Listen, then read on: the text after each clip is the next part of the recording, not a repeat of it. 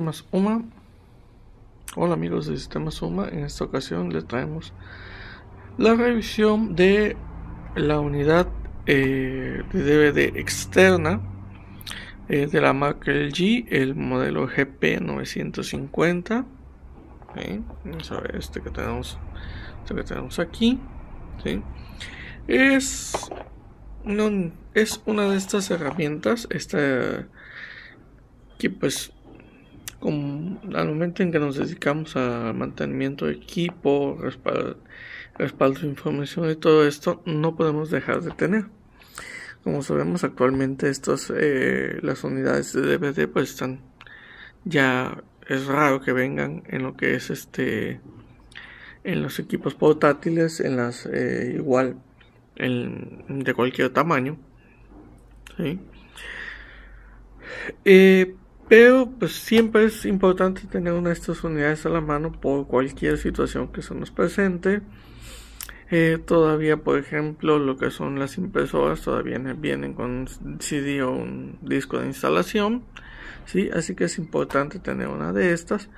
También para respaldar información, grabar una película o cualquier otra cosa que necesitemos.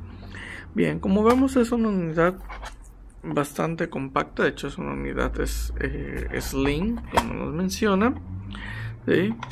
Eh, aquí obviamente tenemos lo que es el botón de expulsión y obviamente el uh, orificio para lo que es liberar el seguro en caso de que un disco se atore.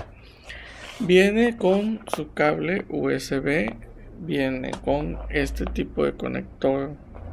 Este es el único detalle que nos gustó mucho.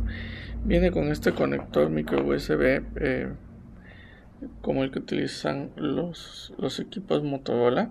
Utilizaban hace tiempo los equipos Motorola. Lo cual en un momento, si el cable se daña, podría complicarles un poco el conseguir un reemplazo.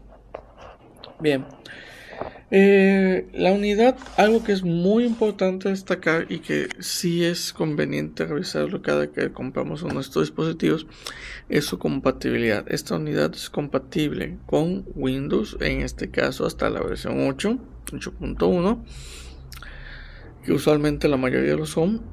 es raro los equipos que no lo son. Es compatible con Mac OS, esto es importante porque no todas las unidades son compatibles con Mac OS. ¿Sí? Hay unidades que realmente no, lo son. Ustedes pueden utilizarlo para leer información y también para guardar información, pero necesitarán de algún programa externo adicional, eh, dado que si tratan de hacerlo de forma nativa les generaría errores.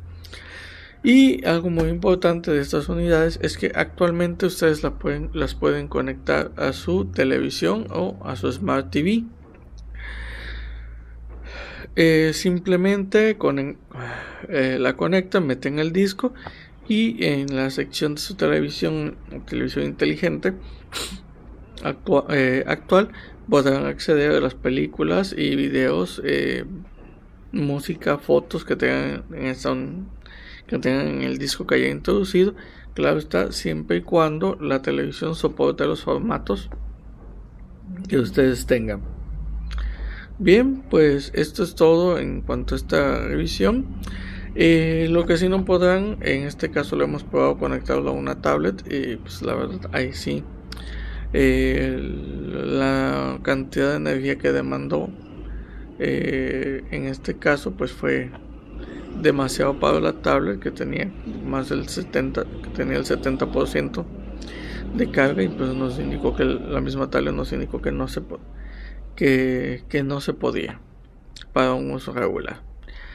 En este caso, entonces no es conveniente conectarlo a su tablet, por tanto por seguridad de su mismo dispositivo como, como, como de seguridad para lo que es su tablet Android.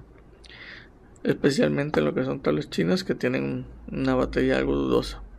Bien, pues eso es todo. Ya saben, esperamos sus dos comentarios, sugerencias y nos vemos en una próxima emisión.